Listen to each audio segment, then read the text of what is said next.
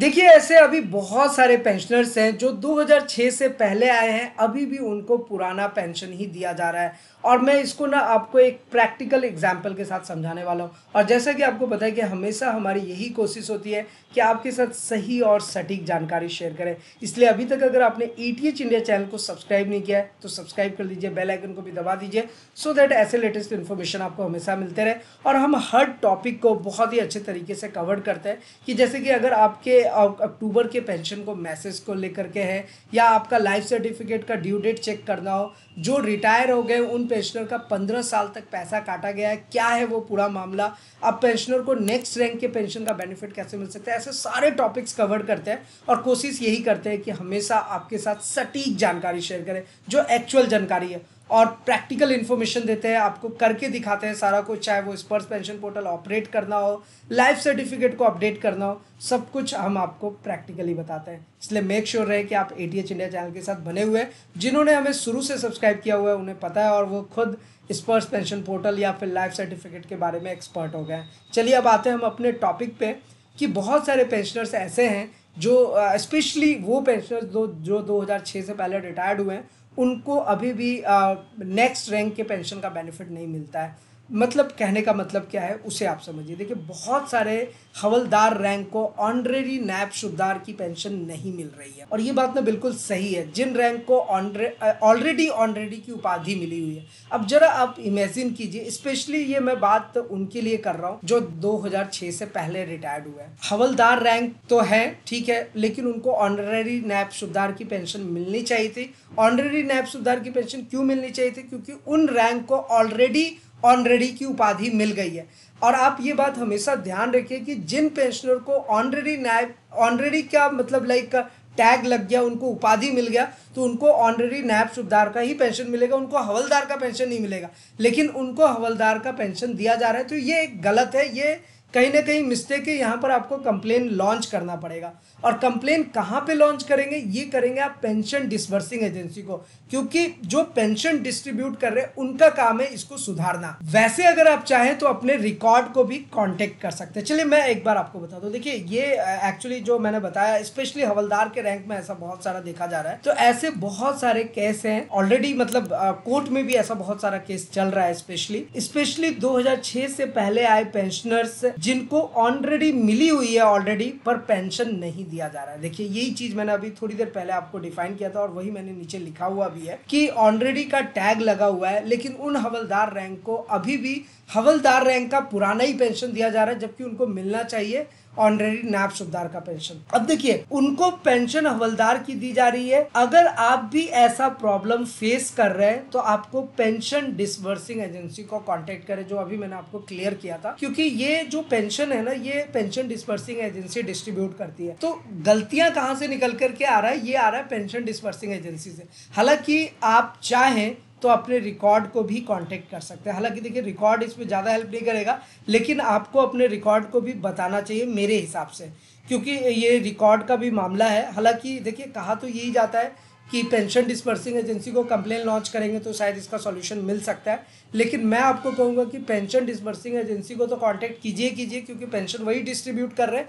साथ ही साथ आप अपने रिकॉर्ड को भी कांटेक्ट करें कि जब आपको ऑलरेडी ऑलरेडी की उपाधि टैग मिला हुआ है तो फिर उनको हवलदार रैंक का पेंशन क्यों दिया जा रहा है? और जब एक बार आप कांटेक्ट करेंगे कंप्लेन लॉन्च करेंगे तो मैं आपको सच बता रहा हूँ कंप्लेन करने के बाद आपको पूरा एरियर दिया जाएगा, पूरा। मतलब इतने दिन से जो बकाया एरियर रह गया, वो सारे का सारा अमाउंट आपको वापस किया जाएगा एरियर के रूप में। तो इसलिए यहाँ पर ज़रूरत क्या है, आपको थोड़ा सा जागरूक होना पड़ेगा और आपको इसके लिए फाइट करना पड़ेगा। और देखिए, हमारा एक व्हाट्सएप ग्रुप है और टेलीग्राम ग्रुप भी है। तो होता क्या है कि बहुत सारे पेंशनर्स जो हैं वो नॉशनल इंक्रीमेंट को लेकर के एमएससीपी को लेकर के, या फिर लाइक जैसे ये वाला केस है ऑनरेडी नैप शुद्धार का उनको टैग मिला हुआ है ऑलरेडी लगा हुआ है, लेकिन हवलदार रैंक का ही पेंशन ले रहे हैं। तो ऐसे प्रॉब्लम फेस करते हैं। तो अभी के टाइम पे क्या है ना कि हमारे पूरे इंडिया में बहुत सारे ऐसे ऑर्गेनाइजेशन है। एक्स सर्विसमैन वेलफेयर ऑर्गेनाइजेशन है जो एक्स सर्विसमैन के लिए सच में दिल से काम करते हैं। और वो जो दिल से काम कर रहे हैं ना, उनको मेरा दिल से सैल्यूट भी है, क्योंकि वो सच में समाज के लिए अच्छा काम कर रहे हैं। हर एक स्टेट में ऐसे ऐसे एक्स सर्विसमैन के वेलफेयर बने हुए हैं। तो हम क्या करते हैं कि जिस भी स्टेट से आपका इस तरीके का कन्फ्यूज़न रहता है या इस तरीके का कंप्लेन रहता है और आपकी कोई सुनवाई नहीं कर रहा तो हम उन एक्स सर्विसमैन वेलफेयर ग्रुप को ज्वाइन करते हैं। और अगर आप भी, अगर कोई एक्स सर्विसमैन वेलफेयर सोसाइटी से जुड़े हुए हैं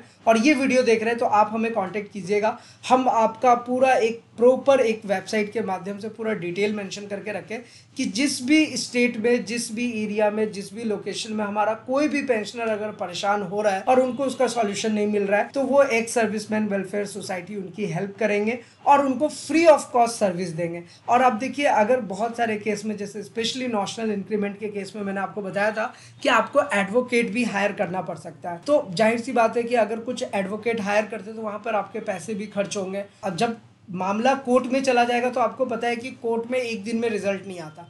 आपको बार बार हेयरिंग पे जाना पड़ेगा, उसकी सुनवाई होगी, फिर आपको नेक्स्ट डेट मिलेगा और इस तरीके से ये स्टेप्स आगे बढ़ते रहते हैं। तो वहाँ पर आपका एक्सपेंस भी होगा। तो आप चाहे तो कोर्ट में केस कर सकते हैं, उसका भी हमने सारा प्रक्रिया अपने पहले के वीडियोस में बताया हुआ है। दूसरा स्टेप ये है कि आप एक्स सर्विसमैन वेलफेयर जो ऐसे ऑर्गेनाइजेशन हैं, जो ऐसे ग्रुप्स हैं, उनके साथ मिलिए, उनको अपना तकलीफ़ बताइए, अपना प्रॉब्लम बताइए। I am sure hundred percent वो आपको शॉर्ट आउट करेंगे। और हमारा जो व्हाट्सएप ग्रुप का चैनल है टेलीग्राम ग्रुप का जो चैनल है, उसको भी नीचे दिए गए लिंक से ज्वाइन कर दीजिए सो दैट कि अगर इस तरीके का कोई अपडेट आएगा तो हम तो आप तक पहुँचाएँगे लेकिन अगर आपका भी कोई कंप्लेन हो, किसी टाइप का अगर आप समस्या फेस कर रहे हैं तो वो आप हमें कांटेक्ट कर सकें। तो कंक्लूजन फ़िलहाल यही है इस टॉपिक का कि 2006 से पहले आए पेंशनर्स को स्पेशली हवलदार रैंक को, जिनको ऑनरेडी का टैग मिला हुआ है और वो उनको ऑनरी नैब सुधार का पेंशन नहीं दिया जा रहा है। तो ऐसे में वो पेंशन डिस्पर्सिंग एजेंसी को कांटेक्ट करे, दूसरा वो रिकॉर्ड को भी कांटेक्ट करे और तीसरा अपने एक्स सर्विसमैन वेलफेयर ग्रुप से भी के साथ भी ज़रूर जुड़े और वहाँ पर अपना समस्या बताए। हंड्रेड टेन परसेंट मैं आपको दावा कर रहा हूँ कि अगर आपका ऑनरेडी का टैग लगा हुआ है और अभी भी आपको हवलदार रैंक का पेंशन मिल रहा है, आपका पेंशन बढ़ जाएगा और आपका जो पुराना एरियर है, जब से आपको नहीं मिला है वो पूरा की पूरा उनको एरियर देना पड़ेगा। और इसका प्रूफ भी हमने अपने पहले के वीडियोस में आपको दिखाया कि किस तरीके से हवलदार रैंक का पेंशनर जो है, वो अपना पूरा पैसा निकालता है एरियर के माध्यम से एक कोर्ट केस करके।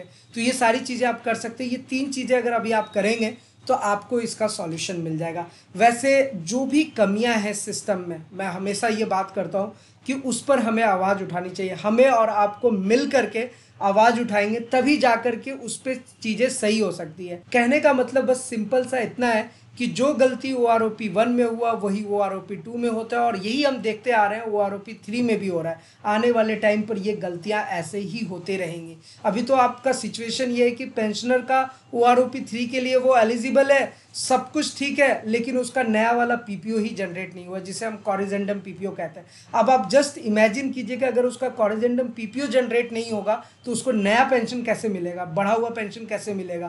क्योंकि नियम तो यही कहता है कि पुराने, अगर आपके पास पीपीओ है तो उसी पीपीओ के अकॉर्डिंग आपको वही पुराना पेंशन दिया जाएगा। और अभी ये गलतियाँ हो रही हैं तो इन गलतियों को सुधारा जाना चाहिए। और हमेशा हम यही कोशिश करते हैं कि पेंशनर को लेकर के जो समस्या हो रहा है, उसके ऊपर हम आवाज़ उठाएँ और सही और सटीक जानकारी आप तक लेकर के वैसे आपको हमारा पॉइंट ऑफ़ व्यू कैसा लगता है, नीचे कमेंट करके बताइए। आप अपना पॉइंट ऑफ़ व्यू भी हमारे साथ शेयर कीजिए, अपना कोई ओपिनियन हो व्यूज़ हो सब हमारे साथ ज़रूर अपडेट किया कीजिए ताकि हम मिल करके समाज के लिए कुछ अच्छा काम कर सकें। एनीवे anyway, अब आते हैं हम अपने स्पर्स पेंशन पोर्टल को पे। तो स्पर्स पेंशन पोर्टल को चलाना आई होप कि सारे के सारे पेंशनर को आता होगा जो हमारे सब्सक्राइबर हैं। क्योंकि ऐसा कोई वीडियो नहीं होगा जिसमें हम स्पर्स पेंशन पोर्टल को चलाने के बारे में नहीं बताते हैं। ए टू जेड इवन आपका यूज़र नेम पासवर्ड भी अगर आपको नहीं मिला है तो आप अपना यूज़र आईडी पासवर्ड कैसे क्रिएट करेंगे, वो भी हमने बता रखा है। स्पर्स पेंशन पोर्टल में जब लॉगिन करेंगे ओटीपी आता है ओटीपी के बाद अपना माई डॉक्यूमेंट्स वगैरह सब जा करके आप चेक कर सकते हैं। खुद से इम्प्लीमेंट कीजिए, खुद से ऑपरेट करने की कोशिश कीजिए, आपको सब कुछ आसान लगेगा। और जो हमारे बहुत पुराने पेंशनर्स हैं जो even smart mobile phone use भी नहीं करते तो वो ज़ाहिर सी बात है कैसे लॉगिन करेंगे? तो मैं उनको हमेशा यही रिकमेंड करता हूँ कि आप अपने घर में किसी बच्चे को बोलिए, वो आपके लिए ऑपरेट करेगा। मतलब कहने का मतलब ये है कि अगर सरकार इस पर्स पेंशन पोर्टल लेकर के आ गई है तो ना चाहते हुए भी हमें सीखना चाहिए। अभी देखिए, बहुत सारे पेंशनर्स हमें कमेंट करके कहते हैं कि यार, ये ऐसा बहुत बकवास है, ऐसा नहीं लाना चाहिए। अब क्या करें? अब चूँकि ये आ चुका है तो सीख लेने में ही भलाई है, मेरा ये मानना है। तो हम इसे अच्छे से ऑपरेट करते हैं। हालाँकि कमी है स्पर्स पोर्टल अभी सही तरीके से काम नहीं करते। इसका एप्लीकेशन तो बिल्कुल ख़त्म है, वो कोई काम का नहीं है। मोबाइल फ़ोन पे भी अगर स्पर्श पोर्टल को ओपन कीजिएगा रिस्पॉन्सिव नहीं है, सही से ओपन ही नहीं होता। तो ये सब कमी है। अब कमियाँ गिनाएँगे तो फहरिस्त बहुत लंबी हो जाएगी। तो हमें वहाँ तक नहीं जाना। हमें बस यही कहना है कि भाई आ गया है तो इसे अच्छे से सीख लेते हैं ऑपरेट कर लेते हैं। सबसे ज़रूरी चीज़ कि हमारा पेंशन हमारे पास कंटिन्यू बना रहे, इसके लिए जीवन प्रमाण पत्र सही टाइम से भर ले। जिनका अक्टूबर में ड्यू डेट है, अक्टूबर में भर लीजिएगा। जिनका नवंबर है, नवंबर में, जिनका दिसंबर है, दिसंबर में। अपना ड्यू डेट कैसे चेक करेंगे? चलिए मैं फटाफट से आपको बता देता हूँ। वैसे जो पुराने सब्सक्राइबर उनको आगे देखने की ज़रूरत नहीं क्योंकि हमने बता रखा है। अब ये अलर्ट मैसेज आता है ना, यहाँ क्लिक हेयर पे क्लिक कीजिए। यहाँ पर अपना बैंक अकाउंट नंबर डालिए, जैसे हमने यहाँ पर बैंक अकाउंट नंबर डाला, और यहाँ पर आप अपना पर्सनल नंबर डाल दीजिए, जो भी आपका आईसी रेजिमेंटल जीपीएफ नंबर है, और जो कैप्चा कोड ऊपर में दिख रहा है ना, वही चीज़ एज इट इज़ आपको यहाँ पर डालना होता है। ये देखिए, हमने डाल दिया।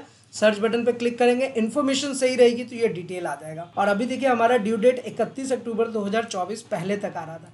आज के डेट में कितना आ रहा है? इकतीस अक्टूबर 2025 मतलब हमने दो दिन पहले लाइफ सर्टिफिकेट को सबमिट किया था अपने मोबाइल फ़ोन से। बिना किसी बायोमेट्रिक डिवाइस के, सिर्फ़ फेस को डिटेक्ट करना होता है आईज डिटेक्ट होती हैं। और एक दिन के अंदर अगर आपने सही इन्फॉर्मेशन भरा है तो आपका यहाँ पर लाइफ सर्टिफिकेट शो हो जाएगा। मतलब कि स्पर्स के साथ अपडेटेड हो जाएगा। और ये देखिए, इकतीस अक्टूबर 2025 का मैसेज आ रहा है। मतलब कि हमने सारी चीज़ें सही से भरी है। तो ये इन्फॉर्मेशन आप भी चेक कीजिए। इसको चेक करने के लिए कोई अलग से आपको लॉगिन वगैरह नहीं करना आप खुद से चेक कर सकते हैं। बड़ा ही सिंपल स्टेप है। तो आप खुद से परफॉर्म कीजिए।